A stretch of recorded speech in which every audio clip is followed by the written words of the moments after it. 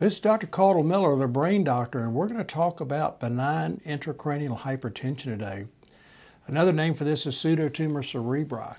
And this is when you're making too much spinal fluid in your brain more than you can actually excrete out of your brain.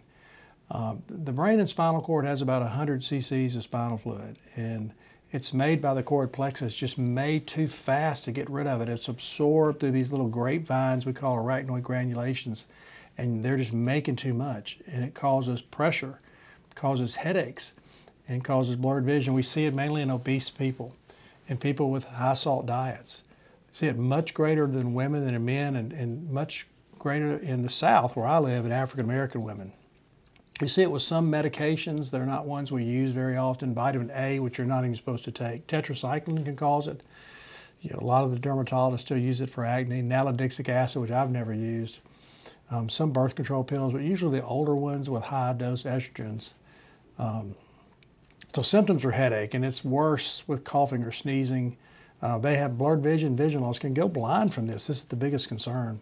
They'll often have tinnitus, uh, ringing in their ears, and often a heartbeat in their ears, like they just hear this beat in their ears. Very dizzy, can be shoulder, have shoulder pain.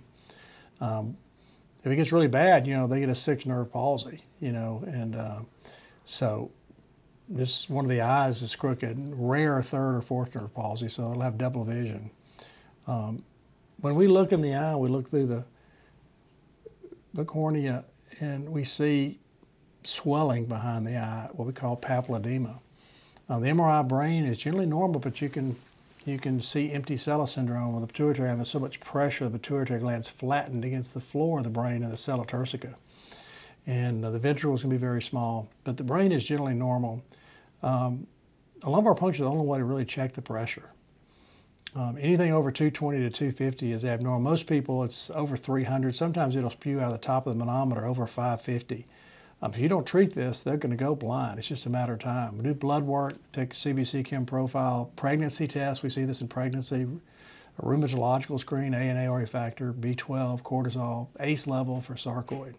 The treatment is a two gram sodium diet. You, if people be rigid on two gram sodium diet, that might be all you'll need. But we use Lasix, Diamox, and potassium. Um, the Diamox inhibits the enzyme uh, carbonic anhydrase, and you know it reduces CNS production. You know up to 50%. So we really like to use Diamox. Some people can't tolerate it, but you try to just start them on a low dose, you know, 250 milligrams to 500 BID to TID. So I usually begin, you know, 500 twice a day. Um, use Lasix um, temporarily. Make sure you use potassium because Lasix will spill potassium and get their weight off.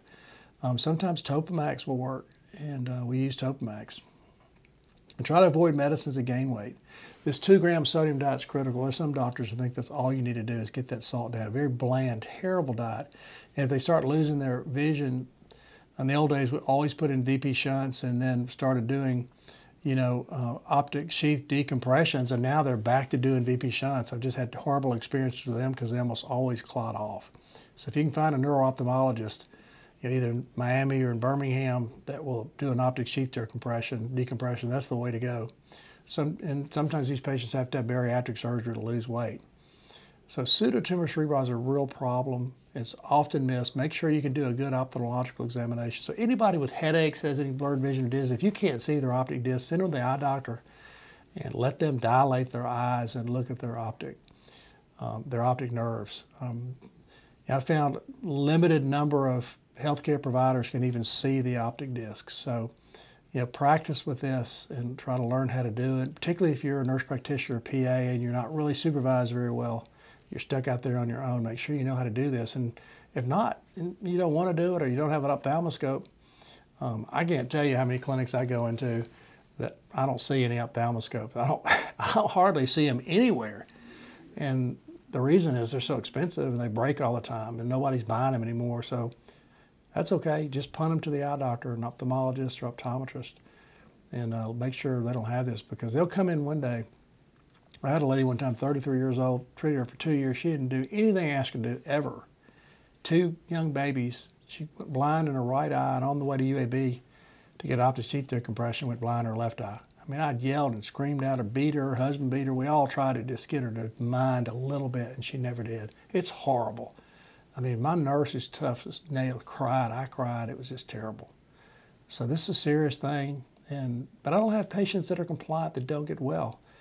So take this seriously. Someone with headaches and dizziness, if you can't see their optic discs, you know, have them see an eye doctor. So that's pseudotumor cerebri or benign intracranial hypertension. Uh, like, subscribe uh, to my channel, make comments, send me a message. Uh, more later.